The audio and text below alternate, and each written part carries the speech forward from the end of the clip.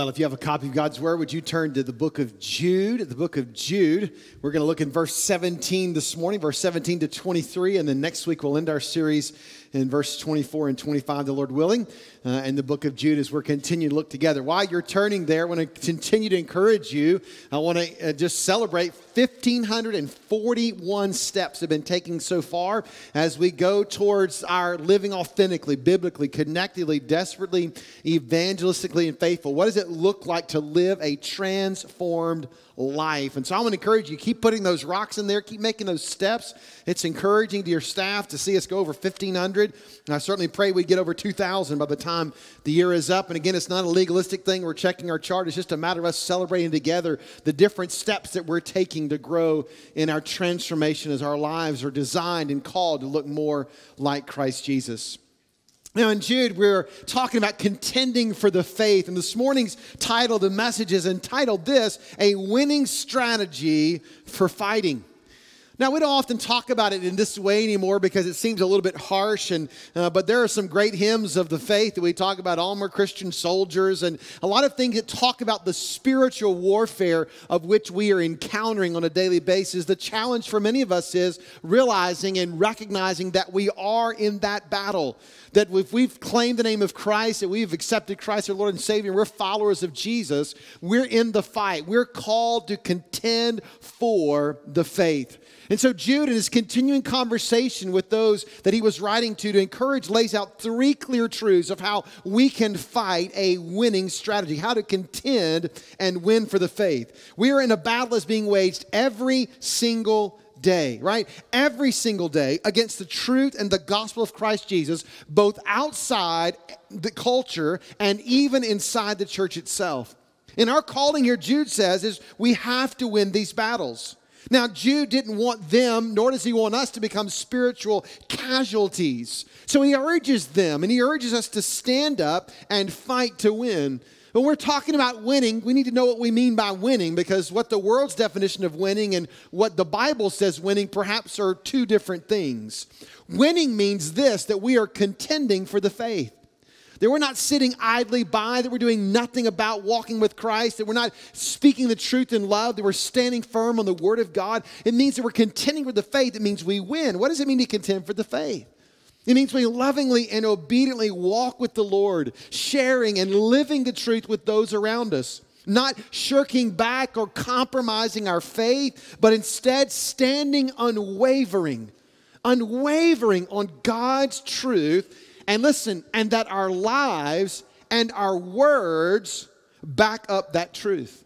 It actually reflects the fact that we are being transformed. Now, it doesn't mean we're perfect, right? We're going to make mistakes. We're going to we're going to mess up. There's going to be problems along the way, right? We know that. But that our course of our life, the trajectory of our life is that we're being transformed. That's the best way we contend for the faith. Now, the reality is sometimes that's easier said than done. So, Jude gives them some reminders of how to fight and how to contend for the faith, which means ultimately we need desperately the Lord's spiritual discernment. To be able to clearly see in what sometimes in our world and in our lives can sometimes seem muddy, can sometimes seem hard to grasp, can sometimes seem hard to grab a hold of, if you will but be able to clearly see and differentiate between right and wrong so that we can pursue the gospel and flee from the wrong things. So Jude's going to lay out three truths here in verses 17 to 23. Let me invite you to stand together in the honor of reading of God's word together. And here's what it says in verse number 17. But you, beloved, ought to remember the words that were spoken beforehand by the apostles of our Lord Jesus Christ that they were saying to you in the last time there will be mockers following after their own ungodly lust. These are ones who cause divisions, worldly minded, devoid of the Spirit. But you, beloved, there it is again, beloved, building yourselves up on your most holy faith, praying in the Holy Spirit, keep yourselves in the love of God waiting anxiously for the mercy of our Lord Jesus Christ to eternal life, and have mercy on some who are doubting, save others, snatching them out of the fire, and on some have mercy with fear, hating even the garment polluted by the flesh. Father, I pray, Lord, by these words, that you would speak to every heart in life, beginning with mine first. Lord, that we would hear these three truths that Jude wrote thousands of years ago that we need to hear today, October of 2024. So, God, may we open our hearts for you to speak to us. May we open our ears to listen. May we have feet that are willing to respond to that which you call us to do. May we not shirk back from that responsibility or that calling or that change or whatever it is you call us to do. May we do it in obedience to you. May we contend for the faith. In Jesus' name we pray. Amen. Thank you. you may be seated. I want to talk about these three truths this morning. Verses 17 to 19, we see uh, right out of the gate that Jude wants them to remember the solid foundation of their faith. The key word here throughout these three truths is the word faith, the gospel, what we base our lives on, what the word of God teaches to be the gospel of Christ Jesus. And he calls them dear friends. I love when he redresses that. Sometimes Paul writes, when he writes some of his letters, it's kind of scathing, but here, and sometimes it's not. Sometimes it's in this same vein where Jude's writing and saying, My beloved, I love you in the Lord. You are special objects of God's love. And he says that to them, Beloved, I want you to remember a couple of things. They're very, very important things. I need you to remember them so that they won't catch you by surprise. Now, sometimes some of us love surprises. Some of you, man, you love surprises. You love like a surprise birthday party, a surprise trip. You love surprises. Sometimes they're kind of, you like scary surprises, right? How many of you love scary surprise? You love to be scared and surprised. How many of you like that kind of stuff, okay? Good, about four of you. All right, great. So not all of you like that. How many of you like a surprise something, anything, like you like to be surprised? Okay, good. Got a couple of hands, couple of honest hands. How many of you absolutely hate being surprised on any and every level? Look, okay. We got a lot of OCD folks like me, control people, right? Don't like to be surprised. Why? Because it means what? We're out of control, right? We don't know what's going to happen, right? I'm good to be on the other side. I'm good to help some, surprise somebody else. No problem. That is not an issue, right? I love being on this side of it, but I don't want to be on that side. So, but what Jude wants him to know is so listen, so that you're not on that side of being surprised. Here's what I want you to know to be to be reminded, so that you don't go, gosh, I never realized that. That's just shocking. I can't believe that to be the case. He says, remember the solid foundation of your faith. Three things. Number one, remember about your faith who said it. Remember who said it. For us, it's very clear we have God's entire word. For Jude's listeners, in particular, it was the words of the apostles and the Old Testament. It was the very clear authority, not some random person or even a teacher or some counterfeit of the 12 disciples, but instead it was those 12 disciples or apostles. Those were where they were getting their teaching from, maybe including obviously Paul and perhaps Barnabas and James, the brother of Jesus. These that were in authority speaking the truth of the Word of God. You got to remember who said it because that really dictates what you believe to be true because there were false teachers who were claiming authority. And so Jude wanted to remind them here's your litmus test. Here's how you know if what you're hearing is true or not. Did it come from the lips and from the mouths and from the words of these 12 and plus a couple of other apostles? Remember when the church gathered to decide what would go into the New Testament, the book had to be either written by an apostle in the New Testament or closely associated with an apostle. So it was the test of truth. So he says, remember, first of all, who wrote it. So if I'm going to contend for my faith, I got to remember who wrote God's word. These were men inspired by God through the power of the Holy Spirit who gave us these words. It was the words that God intended us for to us to have. So I got to remember who, who said it. Number two, in our case, we're, God says it, right? We know. Uh, number two, reflect on what they said. Reflect on what they said. False teachers would arise, Jude warns them. He reminds them, listen, in verse 17, he tells them, right? He says right there, listen, at verse 18, rather, he says that we're saying in the last time there will be mockers. There will be false teachers who will say the wrong things. And the proof that Jude was true is these false teachers were actually already on the scene. There will be those who would deny God's word. Will say, well, that's not really what God meant. That's not really what God said. I mean, I know that's what you think it means, but that's not really what God meant. There will be those who would come and mock God's word, as we'll talk about in a moment. Because why? They didn't want anyone telling them how to live their life and contradict the lifestyle they were living. Sometimes we can be that way as well. Number three, recognize the false teachers. Remember who said it, right? Number two, reflect on what they said. That's critical. Number three, uh, reflect on what they said. Number three, recognize the false teachers in verse 19. Right? Verse into verse 18, they follow after their own godly lust. These are the ones who cause division, worldly minded, devoid of the Spirit. So recognize these false teachers. Now, this is really critical because we know the last five of verses 5 through 16 he's laid that out. So here he almost kind of summarizes so we won't spend a lot of time here but he summarizes what to look for in these false teachers. Before we jump there though let me read a scripture from paul about this same idea in 2 corinthians chapter 11 he says this but what i am doing i will continue to do so that i may cut off opportunity from those who desire an opportunity to be regarded just as we were in the matter about which they are boasting for such men are false apostles, deceitful workers. Watch this, disguising themselves as apostles of Christ. They didn't act like they were somebody out from the outside. We're, apostles of Christ. No wonder, watch this, for even Satan disguises himself as an angel of light. Therefore, it is not surprising. Don't be shocked if his servants also disguise themselves as servants of righteousness, whose end will be according to their deeds. So he tells them here in a couple of things here about what to look for. Number one, they disparage the Lord. They mock the Lord. They make fun of those who follow the Lord, ridicule, spout off cynical jabs, and contrary opinions to the truth of the Word of God.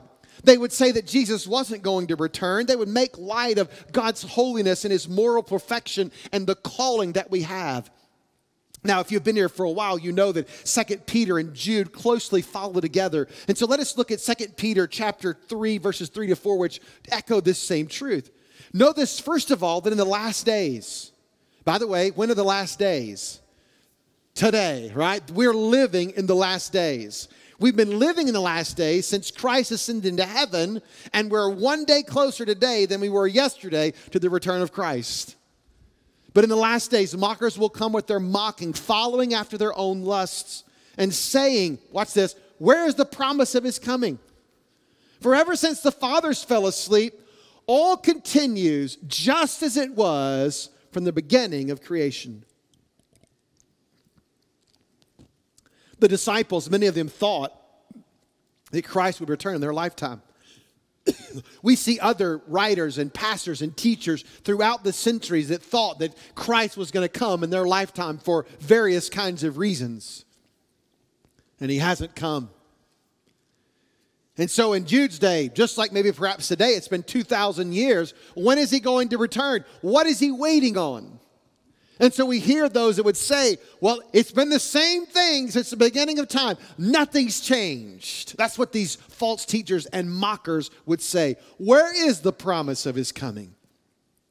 They mocked goodness and morality and obedience to the Lord. By the way, it's a lot easier for someone to make fun of your beliefs than deal with your beliefs to actually understand and maybe even accept them, it's a lot easier to make fun of you for why you believe what you believe rather than owning up to where somebody might be in their life. Because remember, there's a day coming where we will have to answer for how we lived our lives. Number two, they cause division. They not only disparage the Lord, they cause division inside the church. This word means making a distinction. They were saying this. How do they divide? They simply said, well, we have special spiritual knowledge, and the others that are with us, we're far superior than you because we know something that you don't know. Listen, let me give you a word of encouragement. If somebody stands in this pulpit and ever tells you they know something that you don't, your ears are to perk up like a dog ready to hunt a squirrel. Okay? That was for you, Caleb. You're welcome. No charge. Right? Your ears ought to be like, what did he just say? Because guess what? You have the whole counsel of the Word of God. The Bible says nothing is hidden. You can know the truth for yourself. So maybe some of you are saying to yourself, then why am I listening to you?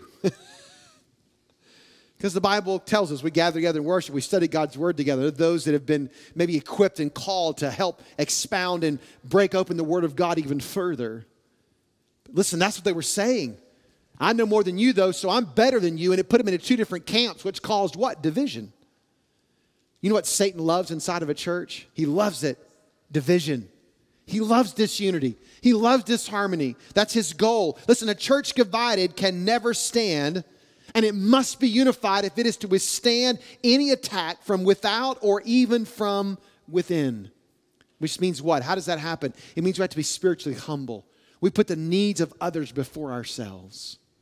Number three, they delight in evil desires. They are worldly minded, some of your translations may say. They follow after their own ungodly lust. They were interested, they were not interested, rather, or focused on anything spiritual but the natural, the flesh, the things of the world that we unpacked over the last several weeks together. They were sensual and ungodly people, the opposite of spiritual, chasing the wrong thing. Charles Swindoll says this once a person breaks free from the safety harness of God's word, they plummet in a free fall of depravity, descending toward destruction. We have to be careful. These false teachers and even these things can creep into our lives where we can cause division or we delight in our evil desires. Lastly, they are devoid of the Spirit, Jude says. What does that mean? It means they lack the presence of the Holy Spirit. And as a result, listen very carefully. If they didn't have the Holy Spirit in their lives, they weren't true believers. Because we know this to be true. The Bible teaches us that when we ask Christ into our heart and life, the Holy Spirit comes at that moment, fills us completely. We get all of Jesus that we're ever, ever going to get. Now, some say, what about the verses as be filled with the Holy Spirit on a daily basis? We pray to that. What do we mean by that? Well, we mean that daily I'm submitting myself to the, the power and the authority of the Holy Spirit in my life. I want to be aware of God's fullness because I'm filled to the brim as a follower of Jesus. But here he was saying these false teachers, they are not. Romans 8 9 says, if anyone does not have the Spirit of Christ, he does not belong to him. Right? They wouldn't, as a result, welcome the things of the Spirit or the conviction that he would bring about the truth of God's Word. They were simply empty people, filled with only the stuff of the world. They were what we might call a religious fraud. They paid lip service to the faith and spiritual life, but they denied Christ by their actions. Listen to what Titus 1 verse 16 says. They profess to know God, but their deeds they deny him. Being detestable and disobedient and worthless for any good deed. I can profess to know God. I can say those words. Listen, we talk to people, and I talk to people about, do you believe in, in God? And they say, well, yes. But the Bible says even the demons believe and shudder. Satan believes in God but by their deeds, by their words, by their actions, they deny him. They were devoid of the Holy Spirit. So, if I'm going to contend for the faith, I must, number one, start with remembering the solid foundation of my faith. Remember who said what, reflect on what they said. And number three, be able to recognize the false teachers. Let it not surprise you. Number two, build yourselves up in the faith. Build yourselves up in the faith. In order for us to be on guard, to be ready, to be prepared to fight the battles that might lay in front of us, we each need to build ourselves up in the faith. Meaning what? We've got to know God's word, his teaching, and be committed to that. The word of God has been passed on to us through generation after generation, something that we have received. We didn't make it up ourselves like other cults and world religions. They were handed down by God the Father Himself. So we are standing today, listen, on a clear, solid foundation, the rock. We stand amazed today in the presence of Jesus the Nazarene. We do that corporately, but here Paul is, or Jude is referring to things that we must do specifically individually. It means I got to be committed to grow and be willing and want to do the work that it takes to grow. To have those spiritual disciplines as a part of our lives, reading His Word, praying, memorizing, journaling, fasting, all these things that are a part of that. It means that as a result of that, I'm living authentically, biblically, connectedly, desperately, evangelistically, and faithfully. Somebody said it this way we can't contend for a faith that we do not know ourselves. Kent Hughes said it this way You can't be profoundly influenced by that which you do not know.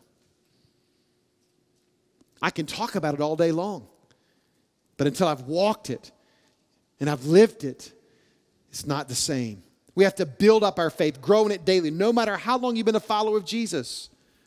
I was counting up, uh, conversation last week about, and this, it's not next week, but the next week, November the 7th.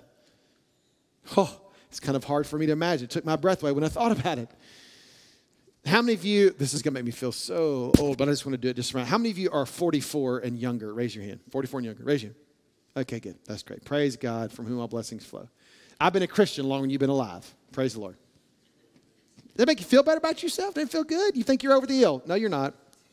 You're not. I celebrate that, though. I was, I was saying, that, I was like, holy cow, that's hard to believe. And so that means that I've got to have learned everything that there is to know about the Bible. Sweet Miss Wilma sitting right there, 93 years old, so proud, able to be here this morning. Miss Wilma would tell you without hesitation, she's not learned everything about the Word of God. She's been a believer a long, long time. She knows a lot of more things about the Lord than I do. But you know what she'll tell you? She's still learning. Because we have to grow for our entire lives. We never stop growing. So I got to build myself in the faith. Three ways that I do that. Number one, he says I'm called to pray. Pray in the Holy Spirit. It means I have to be desperate, which is why it's part of our living a transformed life. That's what this is so critical for us is I have to come to a place where I realize without the Lord, I am I have no hope. I must live desperately and dependently on him. The essence of what it means to follow Christ is an admission, listen to this, of our total and complete dependence upon Him. And the way that I know that is I pray. That unlocks the door to my dependence of saying to the Lord and having that conversation, Lord, and access to the power that I do not have. Charles Swindoll again says this when we pray, we start in weakness but we end in God's strength. We begin with nothing, but He gives us everything. We come empty, but He fills us. Elsewhere in God's word, it talks about praying. Look at what it says, Ephesians 6 18. What does it say? With all prayer and petition, pray at all times in the Spirit. And with this in view, be on the alert with all perseverance and petition for all the saints. We're called to pray. The next one. Philippians 4 6, be anxious for nothing, but in, watch this, circle this word, everything. Here's another Greek translation for you. Ready for this? This is awesome. I studied hard for this one. You know what the word everything means in Greek? You ready for it? What does it mean? Everything. Wait, wait, but not, not exclude a few things, like not, not a, a couple things that God's not interested in hearing. No, no, no. In everything by prayer and supplication, with thanksgiving, let your requests be made known to God. And the last one, this is a short verse. This is a good one if you memorize. If you want to memorize, I memorize the verse of the Bible. Pray without ceasing. What does that mean? It means pray all the time. It means I don't just reserve it for a church service or just a meal, maybe, or maybe the morning of the evening. I pray throughout my day. I can even pray in a worship service, even as I'm singing. I'm praying, I'm having communication with the Lord, praying to Him and listening we pray in the Holy Spirit. Why? Because He's the one who guides us and directs us. He's the one who convicts us. He's the one who interprets our prayers to the Father. He's the one who prays when we can't and don't even know what to pray. When we're so broken and so humbled and so repentant and we're so sorrowful or we're so broken of what's happening in our lives or some horrible thing we're struggling with and we don't even know what to pray. The Bible says the Spirit intercedes for us. I love this statement. S.D. Gordon, a devotional writer in the latter part of the 19th and early 20th century, said this. Listen, listen to this. You can do more than pray after you've prayed. But you cannot do more than pray until you have prayed. Let, let me read that one again. You can do more than pray after you've prayed.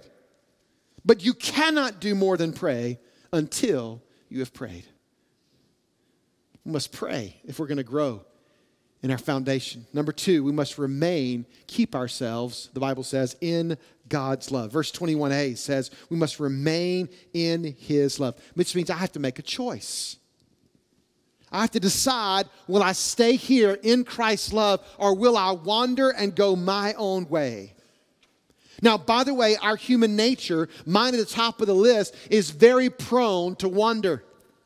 We sing that wonderful hymn of old. We sing it here from time to time. Lord, my heart is prone to wander. I feel it. Bind my wandering heart to thee. The writer knew what we know is that our hearts can be easily off track, led away into the wrong thing. So he says we must choose to remain where? Watch this in the Lord's love. It's not a bad thing. Satan would make it out to be it's a horrible thing. We're in this horrible place, and we need to come over here where it's better and more enjoyable. And it's over here, and God says, No, stay over here. You want to stay over here in my love, stay right here. He told his disciples in John 15, If you'll abide in me, I'll abide in you. Remain in God's love. We're already loved by him, but we need to stay there. Look at what John, he said in John 15, 9, verse 11. Just as the Father has loved me, I also have loved you. Abide in my love. Dwell there, stay there. If you keep my commandments, you will abide in my love, just as I have kept my Father's commandment and abide in his love. These things I have spoken to you. Why? Oh, listen to this. So that my joy may be in you, and that your joy may be made what? Full, complete. Here, what is he saying? He wants to expose the lie of the enemy, Jesus is. The enemy says, Come over here. This is where joy is. This is where happiness is. But Jesus says, Listen, if you'll abide in me and you'll keep my commandments, not so that you can earn your salvation, but because you are saved, because you love me, you will follow my words and my teachings. And if you'll do that and stay within these safe boundaries, not to restrict you, but to give you what? Joy. Oh, I love that. Satan loves to hide these verses from our minds, doesn't he? This over here looks so much better and so much easier and so much more fun. But yet God says, if you'll remain here, this is where the circle of joy is. Remain in God's love. If I'm going to build that foundation in my faith, I've got to pray. I've got to remain in God's love. And as I do that, the natural outflow of my life, guess what? It's obedience. I want to stay in the sphere of God's blessing. I want to live close to Him. I want to experience His incredible and overwhelming love. We know it to be true. There is no better place to be than in the center of God's love and His will for our lives. For there is where, gosh, that's so good. That is where joy is found. Some of us need to hear that this morning. It's not over here. It's right here. It's right in front of you. Number three, the last one wait expectantly for Christ's return. Wait expectantly. Wait with earnest expectation and with certainty and conviction that Christ is coming. We should be watching for it. Now, he uses the word anxiously here. We hear that word, we're like, that's not good. Nobody wants to be anxious. It says, don't be anxious about anything. What do we mean by that? It's a sense of anticipation. It's like a, a, a, child anticipating Christmas morning. They're anxiously awaiting, right? It's not very far away, kiddos, right? For some of you, you're going to go to bed that, oh, that longest night of all, Christmas Eve. I can remember doing it as a kid. I anxiously waited for that morning to come.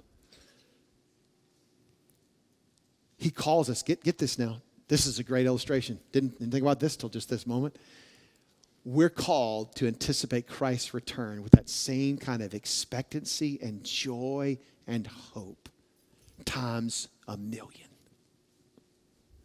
When's the last time you stopped and let your heart think about Christ's return? When's the last time you let it influence how you live your life? The hope that it brings. Titus 2, verse 13 says, Our blessed hope, the glorious appearing of our great God and Savior, Jesus Christ. Knowing what awaits us at the end should motivate us to live here and now for Him. Our eyes should be heavenward, fixed on Jesus Christ and the promise and the prize of His return. And listen, if, even if He doesn't return in our lifetime, which He may or may not, we don't know, there's a day coming, friend there's a day coming when the Lord will make all things new. When we'll leave this earth and its sin sick, filled world, and we will be in the presence of Jesus Christ for eternity. And if you know Christ is Savior and Lord, listen, you're there to receive mercy and not judgment. Dear friend, let me just give you a side note. If you don't know Christ as Savior and Lord, you can know how to experience that mercy today before you leave. That you wouldn't have to wait in a negative sense of anxiously, but in a positive sense. Number three, lastly, as we wrap it up this morning, Remember the solid foundation of your faith. Build yourselves up in your faith. And thirdly, reach those inside and outside of the faith. Now, these are some challenging verses here, but they're needed and necessary for us. Verse 22 and 23, he gives three different categories of those, of how we need to reach those who are outside or maybe inside the faith, but they've struggled, they're slipping, they've fallen. Here's what it tells us. We need to be looking around and taking notice. If we're going to contend for the faith, means we got to contend for the lives of those we care about. And maybe even some of those that you may not even know that have been deceived or misled or wounded by false teachers and those who have led them astray. Some might ask, well, listen, I'm going to heaven, man. Good luck for them. I hope it turns out well. Which is never what Christ called us to do. Three different groups, he tells us what we need to do. Number one, we need to show mercy on those who doubt. Show mercy on those who doubt. Jude identifies there were some who were simply confused, wavering, or even doubting. Guess what? Some of us have been there in our own lives before. They were, try- they were wavering between the difference between what the false teachers were saying and what Jude and the apostles were saying. So, what do we do for folks that are struggling and they're doubting? We don't throw stones at them. We show mercy and love and have great patience and understanding. We don't shun them or reject them or ignore them, but we must be willing to speak up the truth with compassion and conviction, kindness and firmness, mercy and concern, contend for the faith for those who may doubt. Not just merely point out the wrong, with the false teaching that they have heard or even refute the false teachings, but instead lovingly point them to the truth of what God's word says and point them to Jesus because he has all the answers that they'll ever need. And he is the one that can provide the abundant joy that they're looking for in their life. So maybe there's some in your world, maybe that are struggling with doubt. Show mercy, Jude says. Number two, rescue those who are in danger. Rescue those who are in danger. He goes to a little bit deeper level. They're not just they're not just doubting, they've gone a little bit further. In fact, the Bible says here they've gotten so close to the edge that their clothes have gotten singed they're that close. Maybe their eyebrows have been, have been burned. I, I, good friend Stephen Moore talked to funeral home guys regularly when he first was, they started doing the cremations uh, at the funeral home. About a month later, you look up and Stephen has no eyebrows anymore. I'm like, dude, are you going for a new look? Oh, that's really interesting. He's like, nope, I got clo- too close to the fire. Here's what Jude is meaning there's some that are so close, so away from the Lord, they've gotten so close over here to the fire, the fires of hell itself, that they've been singed. And here, the Bible says we're called to snatch them out, to rescue them. It's an Old Testament reference. I don't have time to see it in Amos and in Zechariah about someone being snatched out by God's grace, the high priest uh, Joshua, and also the nation of Israel being snatched out of the fire. It echoes the calling in James. James says something similar in James chapter 5, verses 19 to 20. Look at what he says. My brethren, if anyone among you strays from the truth and one turns him back, let him know that the one who turns a sinner from the error of his ways will save his soul from death and will cover a multitude of sins. Now, let me just let you be aware this is not always easy to do. Because if you're going to go over and rescue some who are getting singed by the fire, you might get burned a little bit too. But it's still our calling to snatch them, to rescue them. And what do we do? Once again, we point them to Jesus. We need to be willing to stand in the gap for people who are on the edge. Oh, C.T. Studd, missionary to Africa in the early 1900s. Listen to what he said. Some Christians want to live within the sound of the church or a chapel bell. I want to run a rescue shop within a yard of hell. Wow. You ever had the joy of watching somebody being rescued and pulled back from the edge? Again, I remind you, it's not the safest place to be, but it's the place where Jesus would be. That's where he was his whole ministry rescuing people that had been singed by the fire and snatch them out. Number three, as we close, carefully show mercy to those who are defiled. This is the group that was in the most desperate condition. The other two, perhaps, were already believers but had wandered away. This last group are those most likely were not believers and he says with a word of caution go after these folks, be very careful that you don't get your garments stained. Now, here he uses a word, it's kind of gross, but I'll tell you, it's the word for excrement. It's a word for undergarments that were sold. And he says, if you get too close to them, you might experience that as well. So you got to be really careful. Here's the example I would give you for us to make sense. Any of you ever been a lifeguard before? Anybody need lifeguards in here before? But uh, look, several of you have been a lifeguard before. Tell me, just you lifeguard people, what is one of the first things they warn you when you're a lifeguard and you're going to rescue a drowning person? What do they tell you? Tell me. This is audience participation. Be bold. They'll drown you too. You're exactly right. Now, do they mean to drown you? The person's coming to save them. Do they mean to drown you? No. But if you're coming to save me and I'm drowning, I'm going to do all I can to not drown. And if you drown, I hate it, but I'm not going to drown. don't you want to be a lot lifeguard, don't you? That's not what I'm saying. That's what people, listen, your mind, when they're drowning, they're not thinking clearly, right? They're in a survival mode, and you come out to them, you're going to be the hero. And he says, Be very careful, someone would teach you. That you make certain you have safety first, and be careful. They're going to be in full blown panic mode, and they may unintentionally drown you. We have to be very careful and cautious when we go and grab folks that are so far over the edge that they don't cause us to fall as well. It can easily happen to any of us. I don't care who you are. He gives a word of warning. But let me give you another thought here, though. It is a live Satan, though, that we have to live like the lost to reach the lost. Listen, uh, this is biblical. You don't have to drink like someone, curse like them, party like them, or be like them in order to reach them. In fact, listen to me carefully. The just the opposite is true. What they need to see from you is a person who doesn't have to have those things and chooses, listen to me carefully, that lives a complete and totally transformed life. Not that you're better than them, not that you're there to judge them, but to show them a different way. That you have experienced joy and purpose and peace in your life, and I don't have to have that. I don't have to go over there to reach them to do that. I might have to go where they are, but I don't have to do what they do in order to win them.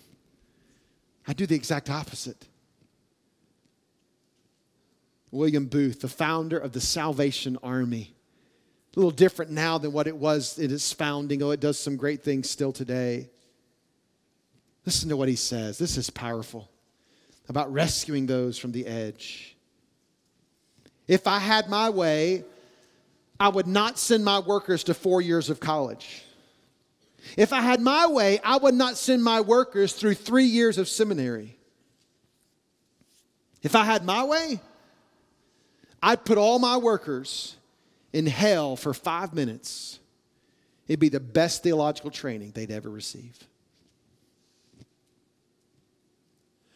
We don't like to think about hell very often. It's uncomfortable, makes us nervous, gets us anxious, gets us worried. But yet Jesus talked about heaven and hell all the time. And we, as the body of Christ, know the truth. And we are called to show mercy on those who are having doubt, to snatch those who are out of the fire, and to carefully, with wisdom, go and grab those who've gone completely over the edge and bring them to Jesus. What is it? It's our mission to engage people to go to where they are with the hope of the gospel to see lives transformed. Will we answer the call? Will we contend for the faith by remembering the solid foundation of our faith, by building ourselves up in the faith, and reach those inside and outside of the faith? Father, I thank you in Jesus' name for the privilege the opportunity that I have each and every Sunday to stand on this stage. Lord, I do not take it lightly. I know that I'm not worthy to stand on this stage. Nothing about my life makes me worthy. The only thing that makes me worthy is you. And so, Lord, I come humbly as I know how that I need to walk in these three truths myself. Lord, I pray for some this morning that need us to stop and for a moment and remember the foundation of their faith. For some to remember is something they can't really remember yet because they've never ever trusted you as their Savior and their Lord. And so I pray for some this morning, Lord, that need to make that decision to follow Christ. Lord, I pray they would do that today, on this day, to admit to you they're a sinner, ask you to forgive them of all their sins, believe that you're the Son of God who loved them and gave yourself for them. They would confess you as their Savior and commit their life to you as Lord. Lord, I pray for someone in the room this morning or maybe watching online who's never made that decision. They would do it today. And they could then move from a place of being concerned about your coming and what would happen to them if they die. But Lord, I said they moved to a place of joy and of love and of peace. Lord, I pray for others still in this room this morning. They need to remember, Father, build themselves up in their faith. Maybe they feel weak. Maybe they're struggling in where they are. Maybe they're walking in a difficult circumstance. Lord, they need to build themselves up in you. And how do they do that? They need to pray, to remain in your love. Lord, and to, Lord, live our lives with eternity in view, to, Lord, live our lives expectant of your return that that influences everything we say and everything that we do and how we live our lives. So for some that might mean I need to come and confess my sin. I may need to come, Lord, and pray for a friend. I may need to come and, and say, Lord, I need to spend more time in your word or in prayer or whatever it is and growing. And Lord, still for others this morning, if we're really allowing you to speak to our hearts, you've put a, a person's face in our mind this morning who is doubting, who maybe has gone over, is on the edge in their walk or maybe some that we know that have gone over the edge. And you're calling us to be the ones to reach them, to be the one to share the good news of Christ, to help snatch them out of the fire. Lord, whatever it is you're calling us to do, may we be obedient to do it in these moments. Join this church family. Say yes to a call to full time Christian service, to serve you with all of our lives, for the rest of our lives. So, Lord, I pray for any person who needs to make decisions that are calling you, they would do them there in their seat or here at this altar. God, would you move in these moments? We give them to you in Jesus' name. Amen.